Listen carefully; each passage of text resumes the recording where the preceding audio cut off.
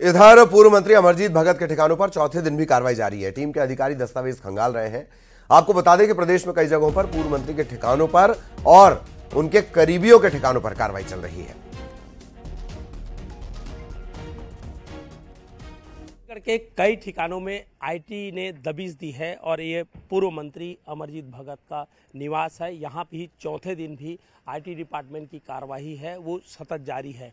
हालाँकि आईटी की अलग अलग टीमें यहाँ पर पहुँची है लेकिन अभी ये पता नहीं चल पाया है कि इस छापेमारी की कार्यवाही में क्या आ, कुछ मिला है किस तरह का जो खुलासा हुआ है इसकी अभी तक किसी प्रकार की जानकारी नहीं है और अभी भी कार्यवाही लगातार आईटी डिपार्टमेंट द्वारा की गई है। ये भी बताया जा रहा है कि आई आईटी डिपार्टमेंट के जो आला अधिकारी हैं, मध्य प्रदेश और अन्य राज्य के भी अधिकारी यहाँ पर पहुँचे हैं और लगातार कार्यवाही है, जारी है। कैमरा पर्सन इमरान कुरैशी के साथ तिगल तिवारी, न्यूज़ एटीन रायपुर, छत्तीसगढ़। इधर अंबिकापुर में पूर्व मंत्री अमरजीत भगत के ठिकानों पर आईटी की कार्रवाई लगातार चल रही है। छत्तीसगढ़ के प्रभारी सचिन पायलट सरगुजा के दौरे पर हैं, लेकिन भारत जोड़ो न्याय यात्रा के संयोजक बनाए गए पूर्व खाद्य मंत्री अमरजीत भगत की मुसीबतें कम नहीं हो रही।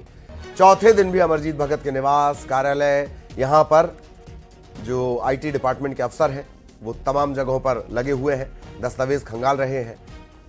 आईटी की कार्रवाई से अमरजीत भगत न्याय यात्रा की तैयारी नहीं कर पा रहे। उनके कई करीबियों से आईटी की टीम पूछताछ कर रही है।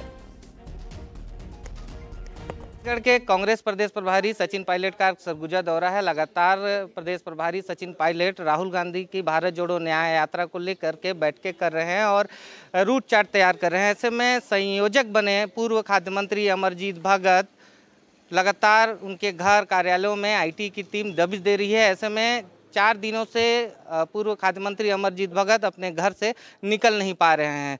अब देख सकते हैं कि मैं इस वक्त अमरजीत भगत के बंगला और निवास पर हूँ और लगातार जो है चौथे दिन भी आईटी की कार्रवाई जारी है और लगातार उनके समर्थकों के यहाँ भी जो आईटी की टीम है वो लगातार पूछताछ की की कर रही है और ऐसे में कब तक ये आईटी की कार्रवाई जारी रहती है, बता नहीं सकते। लेकिन जिस तरह से यहाँ एक तरफ़ जो सचिन पायलट हैं, भारत जोड़ो न्याय यात्रा को लगातार बैठक और रूट चार्ट तैयार कर रहे हैं, वहीं खाद्य मंत्री अमरजीत भगत जो भारत जोड़ो यात्रा के लेकर संयोजक बनाए गए थे, वो नहीं निकल पा रहे हैं। अब लगातार जिस तरह से सचिन पायलट का छत्तीसगढ़ में दौरा है और राहुल गांधी के जो कार्यक्रम हैं, उसको लेकर के रूट चार्ट तैयार कर रहे हैं। ऐसे में एआईटी की टीम खाद्य मंत्री अमरजीत भगत को मुसीबत कम करने का नाम ही नहीं ले रही। Shravan Mahant, news eighteen, Chhattisgarh, Ambikapur.